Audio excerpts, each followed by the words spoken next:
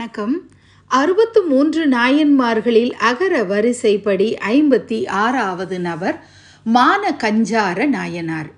கஞ்சாறு என்னும் நகரம் சோழ நாட்டில் உள்ளது.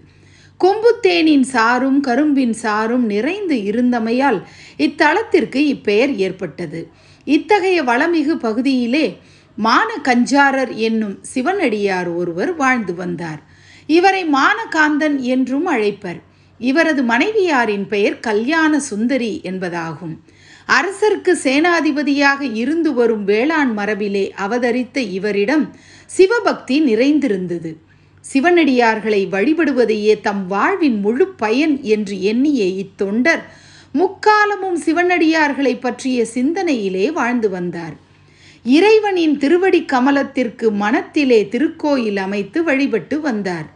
இவரிடம் வேண்டிய அளவிற்கு செல்வ வளமும் சொல்வளமும் நிலவளமும் நிறைந்திருந்தன.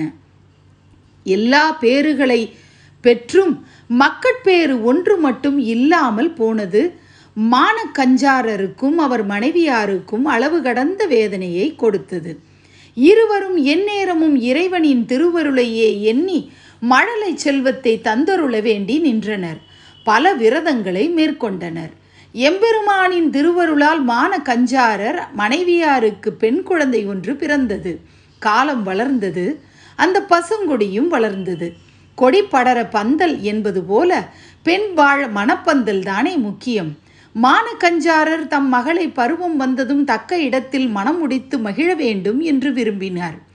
சிவபெருமானிடத்து அன்புடையவராகி ஏயர்கோன் கலிக்காம நாயனார் என்பவர் மானக்கஞ்சாரருடைய மகளின் அழகையும் அறிவையும் அவர்கள் குலப்பெருமையையும் கேள்வியுற்று முதியவர்களை அனுப்பி தமக்கு அப்பெண்ணை மனம் பேசுமாறு செய்தார். முதியோர்கள் மானக்கஞ்சாரரை சந்தித்து திருமண பேச்சு நடத்தினர். மானக்கஞ்சாரர் முழு மனதுடன் தமது மகளை கலிக்காமருக்கு மணமுடிக்க பூரணமாக ஒப்புக்கொண்டார். ஆண் வீட்டாரும் பெண் வீட்டாரும் கலந்து ஆலோசித்து விரைவிலேயே திருமணத்திற்கு நன்னாளும் குறித்தனர். மணமகள் மாளிகையிலேயே திருமணத்தை நடத்துவதாக தீர்மானம் செய்யப்பட்டது. திருமணத்திற்கு முதல் நாள் கலிக்காம நாயனார் உறவினர்களுடன் புடை சூழ வெண்புறவி மீது அமர்ந்து மணமுரசுகள் முழங்க புறப்பட்டு வந்து கொண்டிருந்தார். இவர் கஞ்சாரூருக்கு சமீபத்தில் ஓரிடத்தில் வந்து தங்கினார். திருமண நாளன்று எம்பெருமான் அந்தனர் கோலம் அணிந்து மான கஞ்சாரர் மனைக்கு எழுந்தருளினார். கங்கை அணைந்த கங்கை அணிந்த திருச்சடையிலே ருத்ராட்ச மாலையை சுற்றியிருந்தார்.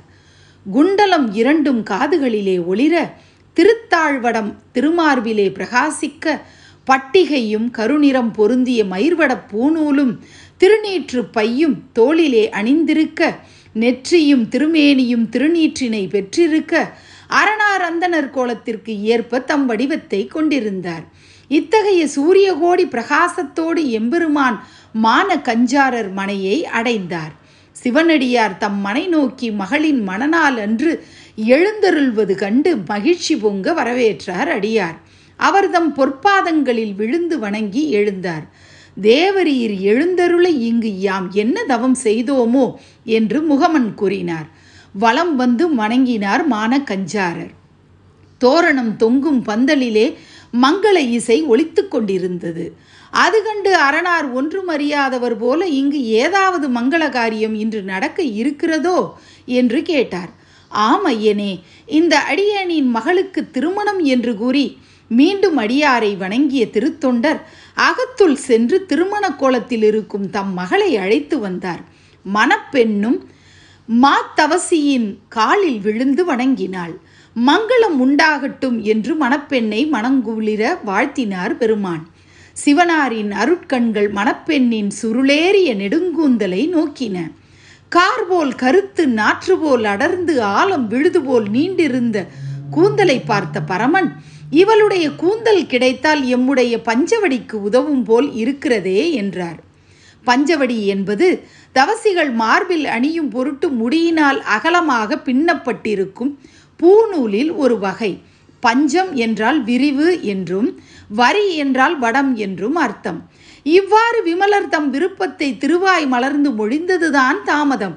மான கஞ்சாரர் சற்றும் சினம் கொள்ளவில்லை சந்தோஷம் மிக கொண்டார். அகத்துள் சென்றார் கத்தியொன்றை எடுத்து வந்தார். தாம் செய்யப்போவது அமங்கலமான செயல் என்று கூட எண்ணினார் இல்லை.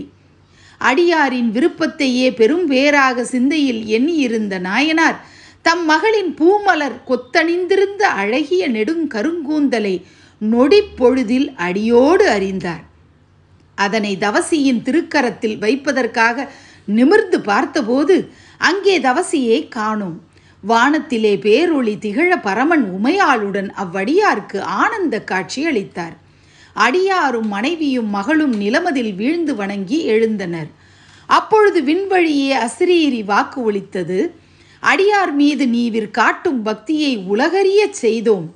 அத்தோடு எப்பொழுதும் எம் அருகிலேயே இருக்கும் சிவலோக பிராப்தியையும் அளித்தோம் என்று எம்பெருமான் திருவாய் மலர்ந்தார். நாயனார் உள்ளமும் உடலும் பொங்கி பூரித்தார். மகிழ்ச்சி வெள்ளத்தில் மூழ்கினார். தந்தையும் மகளும் சிவநாமத்தை செப்பியவாறு நிலத்தில் வீழ்ந்து பணிந்து எழுந்தனர். இதுவரை நடந்த நிகழ்ச்சிகளை எல்லாம் பார்த்து கொண்டிருந்தோர் பெரும் வியப்பில் ஆழ்ந்தனர். இத்தருணத்தில் மங்கள வாத்தியங்கள் முழங்க களிக்காமரும் திருமண இல்லத்தை வந்தடைந்தார். பெண் வீட்டார் முறையோடு மணமகனை ஆரத்தி எடுத்து வரவேற்றனர். இறைவன் அருள் செய்த திருநிகழ்ச்சியை அங்குள்ளோர் மூலம் கூற கேட்க கலிக்காமர் பெருமகிழ்ச்சி பொங்கினார். தாம் முற்பிறப்பில் மாதவம் செய்ததால் தான் இப்பிறப்பில் இறைவனுக்கு கூந்தலை கொடுத்த அறமகள் தமக்கு மனைவியாக வருகிறாள் என்று மனதிலே எண்ணி பெருமிதம் பூண்டார் கலிக்காமர். சுபமுகூர்த்த வேளையில் மான கஞ்சாரரின் மகளுக்கும் கலிக்காமருக்கும் மங்களம் பொங்கும் மனையிலே இறைவன் திருவருளோடு திருமணம் சிறப்பாக நடந்தது. தேவ துந்துபிகள் இன்னிசை நாதம் எழுப்ப விண்ணவர் மலர்மாறி பொழிந்தனர். மான கஞ்சாரரும் அவரது மனைவியாரும் மண்ணுலகில் பல்லாண்டு காலம் வாழ்ந்து இறைவனுக்கு திருத்தொண்டுகள் பல புரிந்து சிவலோக பதவியை எய்தினர் மான கஞ்சார நாயனாரின் குரு பூஜை மார்கழி மாதம் சுவாதி நட்சத்திரத்தில் கொண்டாடப்படுகிறது. மலைமலிந்த தோல்வள்ளல் மான கஞ்சாரனுக்கு அடியேன். நன்றி.